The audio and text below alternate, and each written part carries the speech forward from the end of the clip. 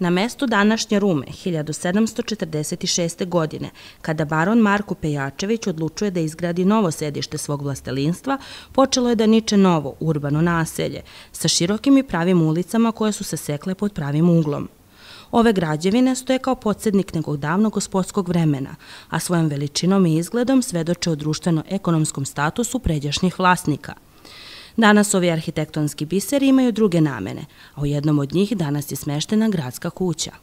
Tamo je gore bio mlin, oni su bili i trgovci i bavili se ovaj poljoprivredom. Imao je dve čerke i onda je opština kupila tu kuću, a one su dobile stan. Ja mislim da ovaj, ovaj objekat što je, toliko je divan, govori o njima koliko su cenili te vrednosti i sve. Za izgradnju ove kuće porodica Ostojić angažovala je beogradskog arhitektu Đorđa Jankovića. Kuća je projektovana u neoklasicističkom stilu sa karakterističnim asimetrijama na fasadi. Za interijer kuće je angažovana poznata bečka firma Porto A Fi koja je opremala evropske dvorove. Kuća je završena 1926. godine. Kuća je bila vlasništvo porodice Ostojić do 30. juna 1970. godine, kada kupoprodajnim ugovorom postaje vlasništvo Novosadske banke, a potom postaje vlasništvo i Rumske opštine.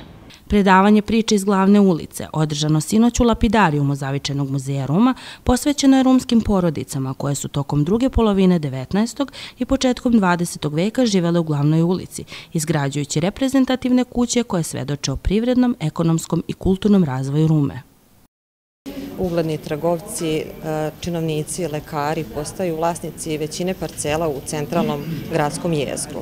I u glavnoj ulici se od druge polovine 19. veka počinju graditi velelepni stambeno-poslovni objekti, građanske kuće, veličina i spoljašnji izgled kuće ostavljaju pečat društveno-ekonomskog statusa vlasnika kuće. Priče o porodicama Kritovac, Nikolajević, Rister, Đuričić, Ostojić, Karakašević, Đurišić, Maksimović, Hondl i drugim koje su ostavile značajan trag u istoriji našeg grada samo su mali deo bogate rumske istorije interesantno, e, da kažem edukativno, e, pomalo nostalgično i naravno ovaj, inspirativno za stare Rumljane da se podsjeća kako je to nekada bilo, za mlađe Rumljane da nauče nešto novo. Nastavljajući dalje glavnom ulicom, nižu se jedna za drugom gradske kuće, u kojima su ponekad dolazili u goste Laza Kostić, Simo Matavulj i mnogi drugi viđeni umetnici tog vremena. Danas stoje kao nemi spomenici početka, života, ljubavi, ali i tragedija.